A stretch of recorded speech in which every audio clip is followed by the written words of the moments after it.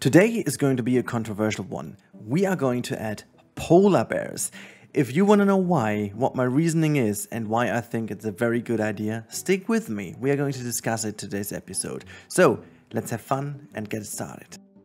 Alright, now today we are going to add the polar bears. In fact, it's not really completely right because we are only setting the ground for it. Now, before I start talking about this in today's video, um, and setting the ground for it, I will quickly give you an idea of how the next episodes will be. So first of all, today's episode will be a planning episode in which I'm going to talk you through my entire process of thinking behind it. I took a little bit of time. I really went through all of your comments and made up my mind. I did a bit of research and I came up with a good idea, I guess.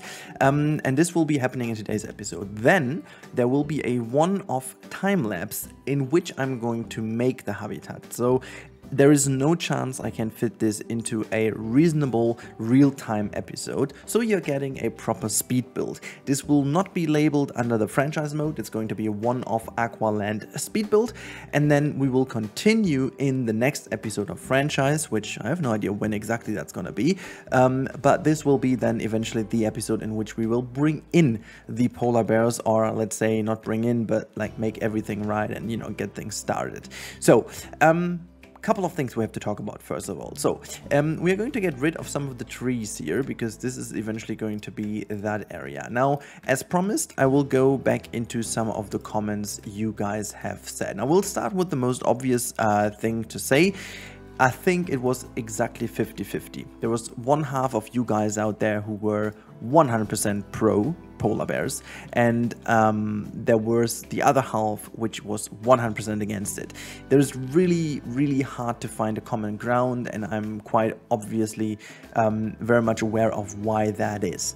That said, um, I still found a way of doing it that hopefully is going to please both sides in a way um, and you will you will learn in a bit to why now this is the area we are covering, and we're not only covering this area, we're covering this entire area. The idea behind this is that many zoos in this world, including Germany, which is currently housing 30 polar bears in 13 different zoos, is having a significant issue because most of them, if not all, do not apply to the ADA rules, um, the newest ones, or AZA, I should say, by the way, not ADA, um, AZA rules, which, for those of you who don't know, these are the rules of the uh, Worldwide Zoo Association that uh, do focus more and more on conservation, um, and they update the requirements of certain areas for animals every now and then, um, making sure that, you know, uh, animals are treated in the best way, well, possible in a zoo, I should add as a little uh, you know, extra to it. This means also that there is a huge, huge difference between the zoos when it comes to the size given to them, the space given to them, and just in general the overall approach to how they handle that. Most of these zoos, and I'm sticking with the example of Germany, most of these zoos have grown over decades and decades and decades. So when they actually began, there was never an idea about if this is a good idea or not to have them in. It was solely meant for entertaining purposes. So unfortunately, exactly how many of the critics say. Now, this also means in a way that we we have a hard time arguing that there is a good idea uh, that this is a good idea to have polar bears in a zoo in the first place. Now, the thing is, we have a problem, and that is we have quite a couple of polar bears existing in zoos, including a lot of babies, including still breeding programs across the globe. Um, and this is a problem because we have many, many polar bears in zoos that don't really fit there because the zoos don't really have anything to give to them. And this is what I want to change over here. This is more or less going to be a polar bear rescue area. And by rescue, I exactly mean what I just was talking about, rescuing them from actual zoos rather than from the wild because well there is a problem with the definition of rescuing them from the wild i mean if they're poached then yes but in general the, the, the, major idea about this is to rescue them from zoos where they just simply do not belong. Um, how we are going to do this, how we are going to do this. So the idea I had in mind is that we only have a relatively small viewable area in the foreground here. And then we're going to have a tour and this is something I really debated myself with quite a lot of times and I just didn't know exactly how to do this but this is going to be just a very tiny space in which you can see a polar bear eventually. That means there is no force behind that to bring it here to make sure that it is here but it is going to be um, kind of a little bit of an educational area in which you can show them if they are, they are around. Um, if not, you can still go on a tour and see them in a relatively um, open space. And I also did a lot of research about how we could deal with one of the biggest issues that we will come across. And this is something we are going to do in today's video. Now, the first thing is I'm going to quickly outline what is going to happen. Now, we're going to take this building real quick because that is going to be the entrance to our area. I found this a quite nice building anyways and I thought you know if we are going to repurpose that why not into a certain polar bear area you know just educational area?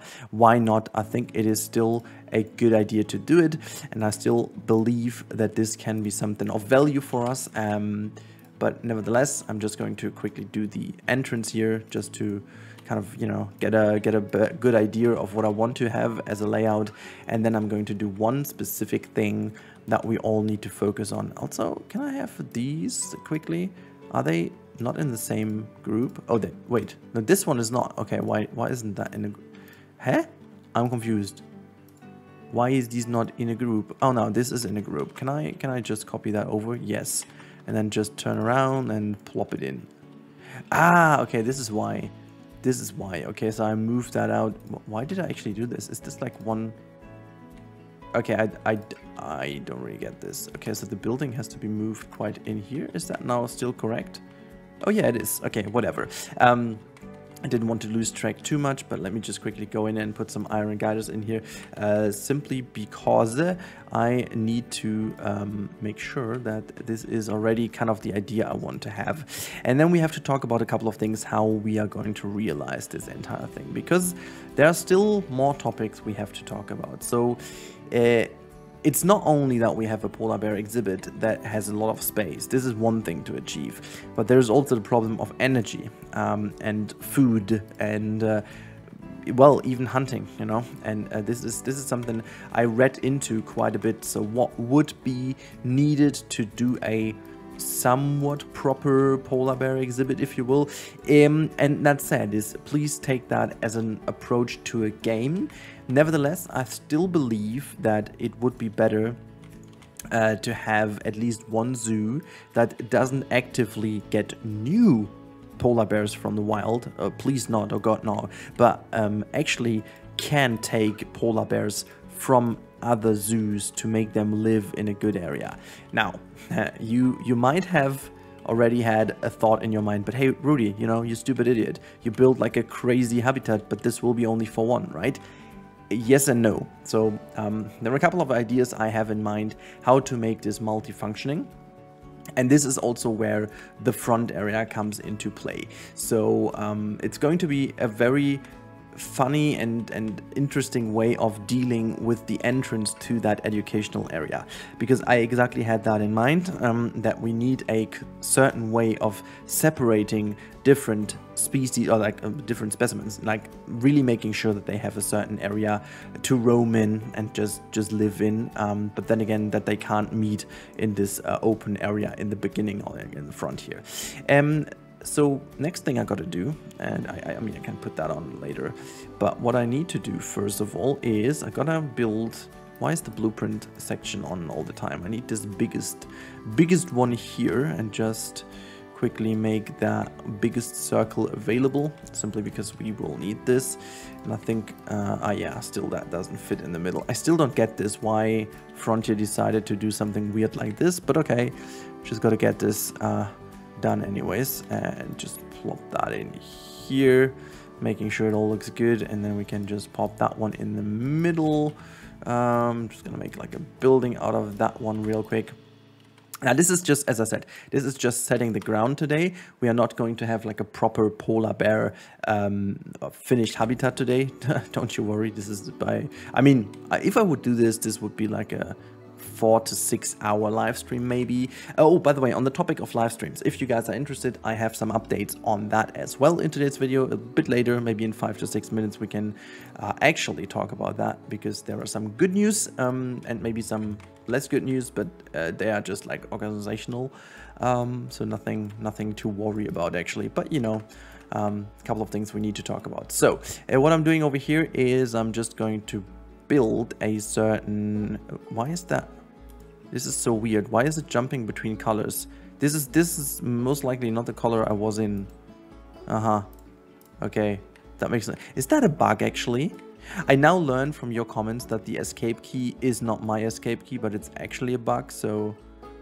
Okay, well, I, I don't know why this happened. Anyway, so this is the big educational area in which people will be accessing this, and what we're going to do here is we're just going to keep that coming in. And now we have to bring all... Oh, wait, this is not... Why is that not all of it? Eh, I don't get it. Just like so. Get rid of... Oh, this was one building. Perfect. Okay. Now we're to have to move this one down just ever so slightly above ground. Noise. And what we're also going to do real quick is just to get the the sand around here, just making sure that, yeah, blah, blah, blah. It's gonna look, it's gonna look better in the end anyway, so yeah, there you go. So this is the entrance, again, as I said, to this area. Oh, look at that. We can just grab some of these and uh, make them plop in here. There you go. And I'm just going to delete some of these. And you know what? Just this, I like this. This could be some educational stuff already. So I'm gonna keep that here.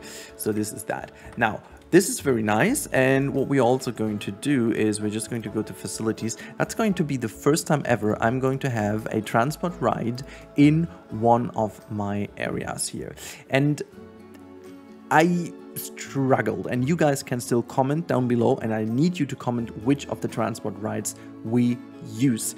For me personally, there are only two options, that being the transport ride uh, adventure tour or the monorail.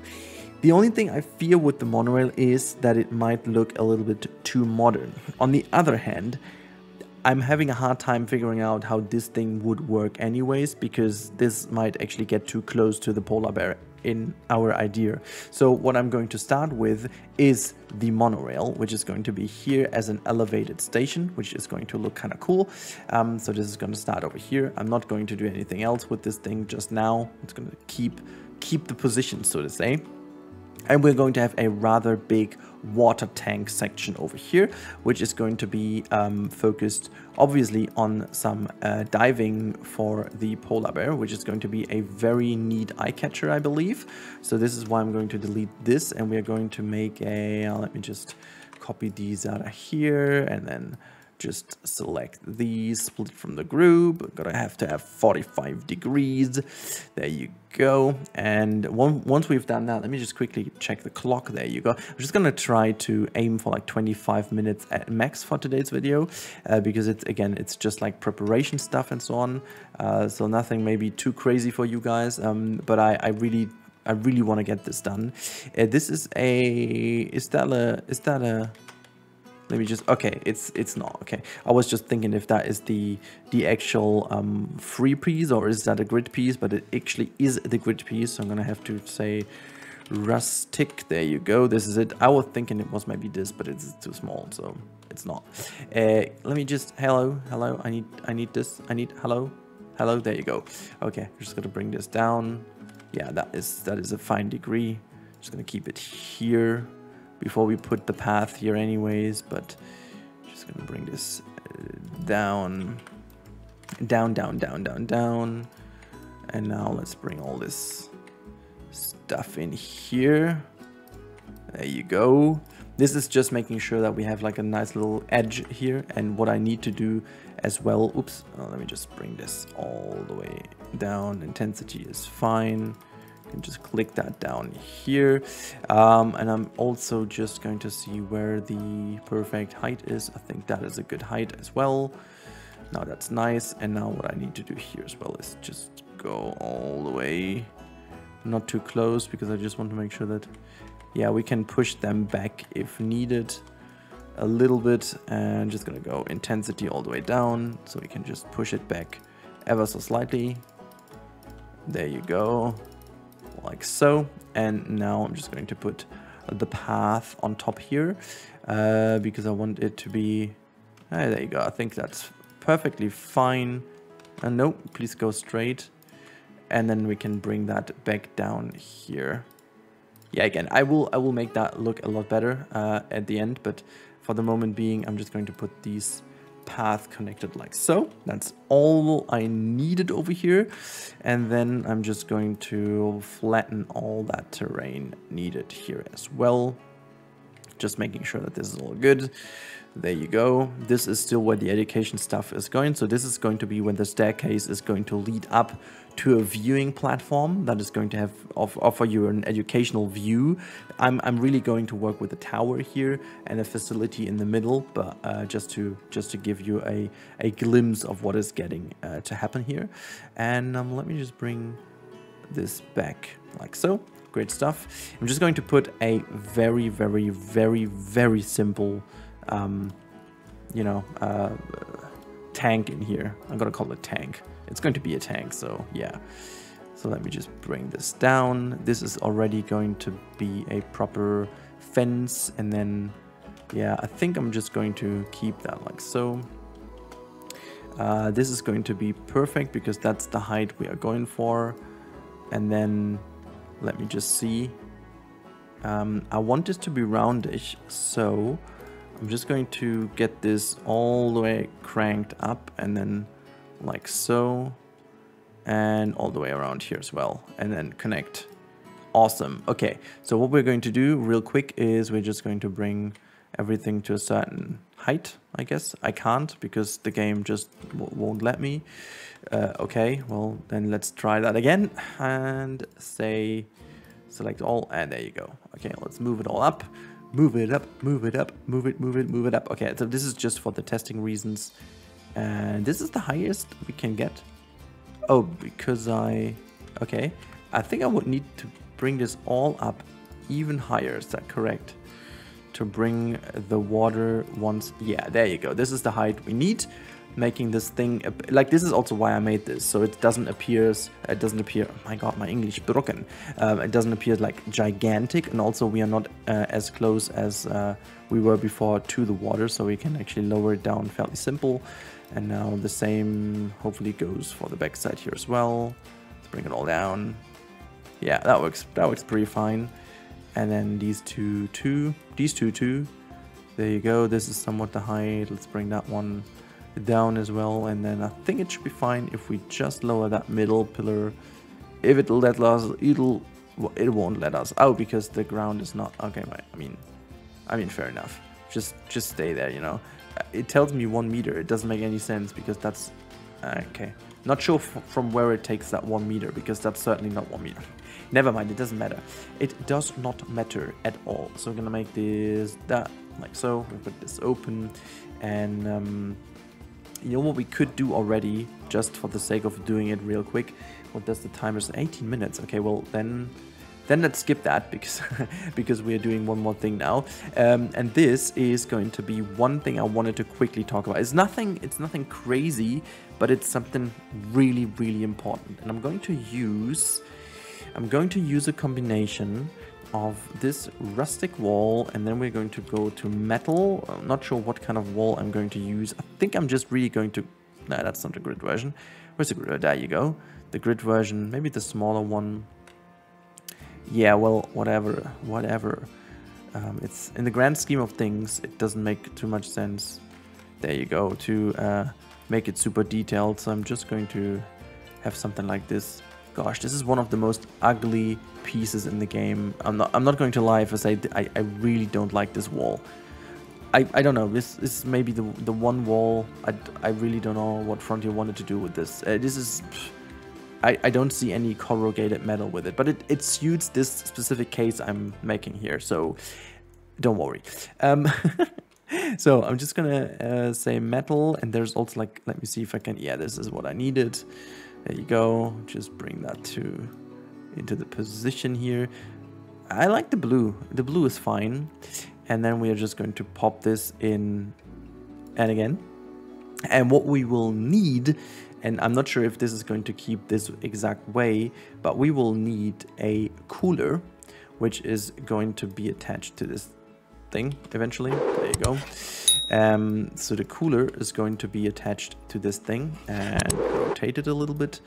So there you go, to make it a tiny bit more uh, rudialistic. And um, if you don't know what rudialistic means, I talked about this expression in one of my latest videos, so make sure to jump over. It got no power, whatever.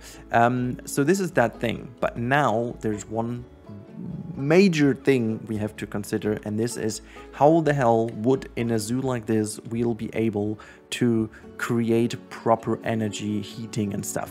And this is where my idea comes into play. Just going to bring this over to this side. Not sure if this is gonna gonna be enough anyhow but we're going to use a certain planter and I hope I'm going to find the right it's not called that way. Why is it not wait plant is it plant there you go. Okay, it's called planted wood. My God, why? Uh, so there you go. Uh, it almost should act like a moss type of thing on top of it, but it's obviously going to be uh, just that. So this kind of has a cooling effect to it. Um, and then what we're going to do real quick is we're just going to build a certain iron railing here. There you go. This is going to be painted in a certain oh, greener, greenish tone. That it just somehow merges a bit better into that area. Well, that should be fine. And then let's do this like so. And have these things go down. And there you go. One and two. And we have to say glass and we do have the emissive.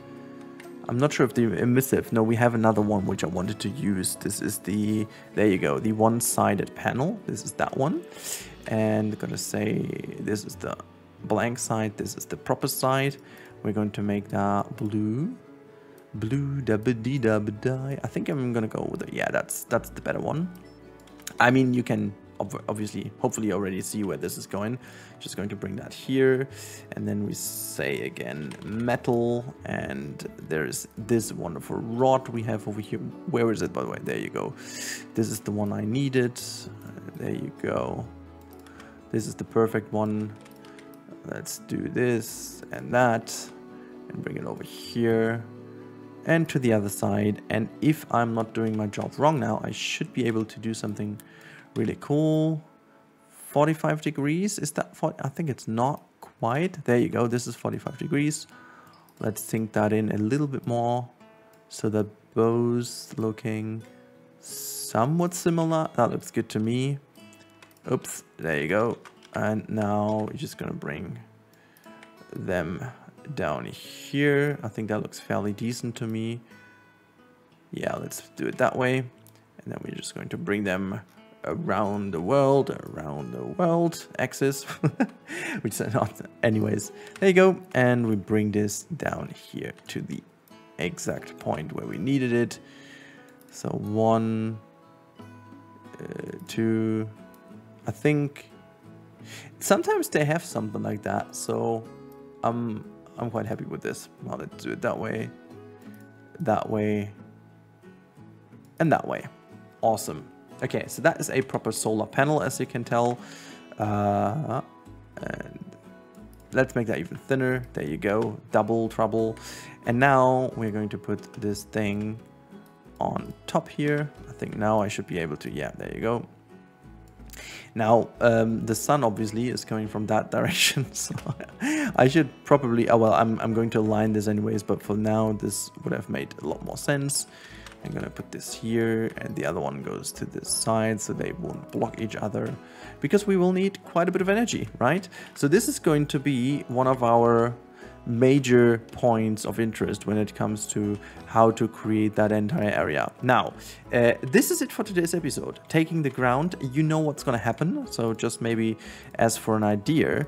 Um, so just making sure that this is going to be the the entrance and educational area, not more, not less. And then this entire area is going to be the polar bear rescue station. So with that said, I hope you guys enjoy the idea. Now go nuts in the comments, help me, the algorithm, but most of all the discussion. What do you think about this idea? And please let me also know if you have any tips or tricks or whatever, what we could do to make it even more conservational um, and making sure that they are somewhat treated well, let me know in the comments down below as well. If you've got any techniques, how to do proper cooling and stuff, if there's anything else you would recommend, uh, let me know in the comments down below and hopefully you guys come up with good ideas as you always do. And as promised, the last update on my live streaming, I saw your replies, I saw your uh, your your ideas where to stream on Twitter and on YouTube, and I'm going to do a little test for. I tried to do it for four weeks straight to see how it's going. Um, of a stream on YouTube once a week and Twitch once a week. I'm going to announce the exact times, but um, it's going to be amazing. It's going to be really cool. I have some cool ideas what to do. And um, yeah, stay tuned for that. But now, thank you so much as always for watching. You guys rock. Thank you so much for your ongoing support. If you haven't subscribed already and uh, you, you find this stuff very good and helpful, interesting or whatnot, and it does entertain you, please consider subscribing if you haven't done already because many of you guys keep watching but you're not subscribed which uh, i totally understand from my point of view because i have so many channels i never understood why i'm not following because YouTube doesn't tell me that I'm not. So yeah, please check if you haven't already. That would help me out so, so much to reach my target. But now, enough said. I wish all of you a very, very wonderful day and uh, stay safe, everyone. Now, that's it. Goodbye. See you next time.